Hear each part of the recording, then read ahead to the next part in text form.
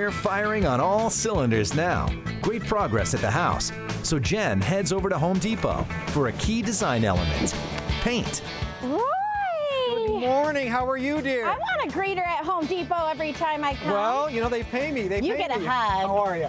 Good. Wow, I love those socks. Oh yeah, they're a Those choice. better be PPG colors on those socks. We can color okay, match. we can color match it once we get in there.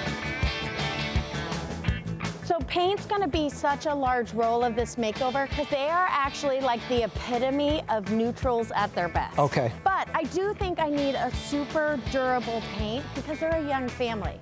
PPG Diamond is an awesome brand, scrubbable, washable, Green Guard c- uh, certified, low VOC, Oh, low emissions, and they do have a little one running around, Yeah. right? So they have a four-year-old son, but they also have a new baby. So no VOC is great because it's not going to add smells or be harmful to their family. Correct, and the finish is outstanding. They could throw ketchup at it, anything at it, wipe it off. It's perfect. Currently at the Willett home, the walls are naked. There's nothing on them, so we're gonna put some PPG paint on it and add that soul the home needs. I need this paint to go on quickly because the Willett family is going to be home before we know it. Your team, you can put two coats on in a day, one coat, four hours later, a second coat, and it is outstanding. The eggshell, semi-gloss, satin, beautiful finishes. Flat for the ceilings in your living areas, eggshell satin for your halls, your bedrooms, it'd be beautiful. It's the least we can do for these people who are putting their lives on the line to enable us to do what we do on a daily basis.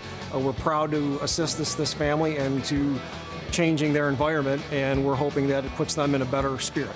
Good quality paint makes my job easier, and honestly, like, I have a lot of good colors to choose from. You do, you do, and we appreciate helping Home Depot, PPG.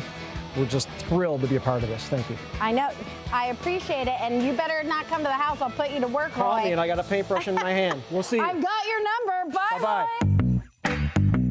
When I go to Home Depot, it's not just about paint. Sometimes I get outdoor stuff. I love the plants, I love the outdoor furniture. I love shoving a cart full of stuff. I'm stuck. this is how I feel getting dressed in the morning.